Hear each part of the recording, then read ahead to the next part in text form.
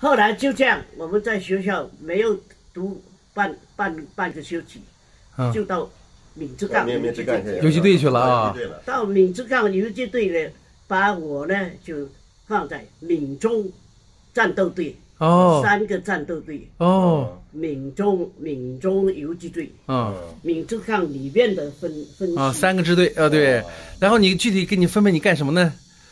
当兵了，嗯就把我调到战斗队，嗯。战斗队一看我挺勇敢的，啊嗯。那那三个男同学，男同学他们身体不好，嗯。嗯胆子小，嗯。他就是我敢说敢干，就这样，嗯。把我调到战斗队，哎闽州战斗队，嗯对，闽州一二三嗯。三个战斗队，嗯。所以我们有个战斗队打金门的时候，哦全部牺牲了。哦对，叶飞林的部队二中队对。没有人了。哦。我到香港后来写的一篇文章，嗯。就是教魂。嗯。二中队的那个农村啊，他们都是农村嗯移民嘛。啊啊啊！啊，我在香港写的一篇文章。哦，你还过去哦，你还写过文章，在香港发表了。哎，在香港发表，哦，嗯。回忆香港发表了，好多人打电话找我。嗯。呃，这就是历史。哦嗯。然后呢，啊，那那篇文章真的是很感动人的，嗯、叫魂呢。叫魂啊。这个村子二中队的村子的家属，他们知道我们二中队回不来了，都死完了，嗯。所以他们就海边的人他有这个习惯，嗯。啊。就是通通到海海边坐着一个个个点了很高的蜡烛，哦啊海啊啊教对魂那个对家属都在叫魂，啊把魂叫回来对叫他们的孩啊！子哎呀来了，把魂给叫回来。回来啊，回来啊，好哎呀凄惨啊！哎呀后来我就写了一篇《叫魂》这篇文章，在香港发表了，嗯下班了。后来好多人打电话找我，找我。后来新华社的人，我我后来找新华社，新华社的领导原来都是我们是游击队的啦，领导，啊。呃他们就讲不跟他们任何人联系，啊。不跟不跟他们任何人联系，因为太香港太复杂了。啊。后来不跟联系，所有的电话都不回了。哦但是这个教魂在我印象里面很深很深，因为我切。们二中队全部死光，一个、哦一个都没有。一中队是要打厦门的，嗯。叫二中队的就是打金门的。对金门在我们中国历革命历史上是大弊特弊，最大的一次失败。对。金门金门的失败。对啊，所以这个就是讲到金门之战了，讲到金门之战，我们二中队全死光，嗯，一个也不没有回来。当时也包括你的那几个战友。啊。二中队的失败，我是参加总结的，嗯。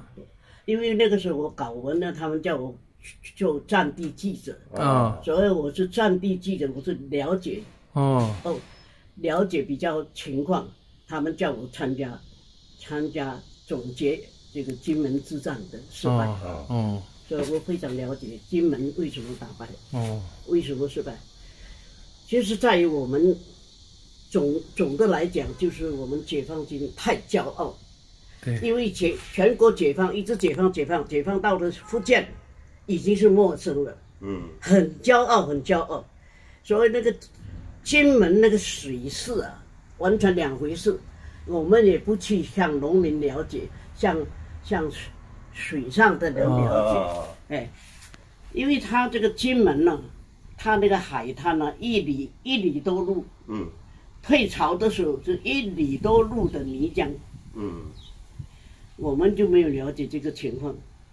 没有打，我们已经开建工会了。啊啊，所以我们那个几个领导受处分了。哦对，说的就是哎，后来就这样，气候没有了解，嗯先头部队我们都是小车小船呐、哪里有什么汽艇什么没有啊，嗯都是小船。我是参加后面那个参谋长的指挥船，嗯所以不是在最前面，在指挥。对。前面几位先旗先旗，这个叫先前部队，先前部队。嗯。小船就一直进去进去，碰到退潮，他退潮一里多路的泥浆地，对，啊，国民党他是金门驻军，所以他在这个泥浆地，他退潮的时候，他已经一层一层的布上水雷了，啊，一层一层的水雷，啊，然后那个岸上乌龟壳一个一个呃密密的嗯，机关枪什么都搞好了，我们也不知道。这个小船一起前进了，前头部队，哎，退潮来了，小船进也不行，退也不行，嗯。在，搁浅了就是。泥，上面粘粘住了。很，多战士跳到泥里面去推船，也沉下去。哦，这个变成就是整个牵头部队就在泥浆这边，被就这么被动挨打了，进不去，就出不来退不退。嗯，啊，那那个那个岸上的机关枪，他们都是美式的机关枪，嗯这对都都是全部死了，太凄惨了对，全部死了。嗯就是不了解水情，不了解国民党的部署，嗯，不了解，盲目的进去，只好退下来了。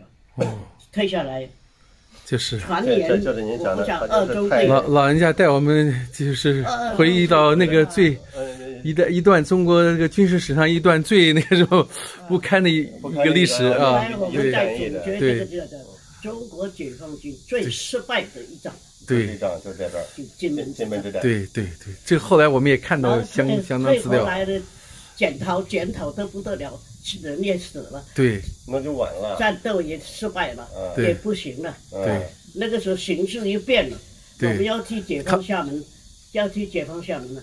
厦门的第七中队，美国第七舰队又去停在厦门。对，所以最后金门也没收嘛，对，留下来，老黄，哎，你哎呀这边还有一个大哥来送饭来了。老人坐车的，怎么样？来，您坐这儿，您坐这儿。您是您是哪儿的呀，老家是？啊，北京的我，啊北京的。你给老人家送饭来了？啊，有就是就是主动的，对啊，给老人家经常给老人家送饭吗？对啊，哎呦，哎呀，这么好的邻居啊，啊，这么好的邻居啊哎，，很好，很好，很好。嗯，革命一一辈子了，革命一辈子了。您您的岁数也不年轻了吧？你得多少多大了？得七十多了吧？我七十三了，七十三了哦嗯。哦，你在这买房子多少年了？我买了十十十好几年了。十好几年了。呃北京的，呃，好早就认识这位，呃革命他们来，他们比我来的晚。还比你来的还晚一点哦。对，哦，陈好就前后楼是吧？我我在那边，哦，北京他住那边，哦，好，很好，这个老头子。哎呀，昨给你看给你送饭来了，你看，真好，你你这是有这软乎的就来点儿。哦，做个好好吃的就给老人家送过来。你想，都九十多岁了，九十四五岁了，还这么这么头脑这么清晰啊，这么清醒，谈吐这么哦，这么不凡啊，记忆力这么好，很难得呀嗯。你怎么样？你在银滩地方住的怎么样？我住我在这儿住还行，住的还行，对空气好，空气好，岁数大人少就好。人好就好，不希望人多。他们都是部队的，部队的，原来不不我的父辈也是部队的，也是抗美援朝的。哦啊，对，刚才一说他个感觉很亲，话匣子打开了。嗯嗯嗯，那还行。呃，对，哦，和这个小区，呃，邻里关系处的都很好啊。这还行。啊，银滩吸引你的是什么？什么东西最吸引你啊？这人少，空气好。哦，你每年在这住多久啊？我住，先老了住两三个月。啊，就住两三个月，对，然后就回北京了。对对对哦，这样子的，每年都过来，对，每年都过来哦。行，你也善良的人 所以就变成邻居了。就变成邻居了。因为我父辈跟他们都是一个一个单位的。哦，父辈和他是一个单位的。对啊，哦新四军的。哦，你也是新四军的后代啊？对啊，哦，有看，都是新四军的后代。他是新四军，后来到二十五军，就是抗美援朝是二十五军。然后我我我他们回来之后就不不在部队了。不在部队，到地方了哦，对对是是是这样子的，最最有情义的哦，他还要回家很多次做饭，什么都。自己做饭，亲自做，对啊，真能干。不是因为我我老伴儿做饭不如我好。不如你做的好吃，现在好多男士做饭做的好吃。呃，行，坐这儿。哦，就这儿了啊！那个老人家，那就今天就采访到这儿了吧啊！谢谢您了啊！谢谢您讲了这么多历史，讲了这么多故事啊！我还慢慢消化呢，回去。好，谢谢老人家了，也谢谢您啊！谢谢我们的左右呃网友两口子啊，带我过来采访老老人家啊！好嘞，好嘞。啊，好。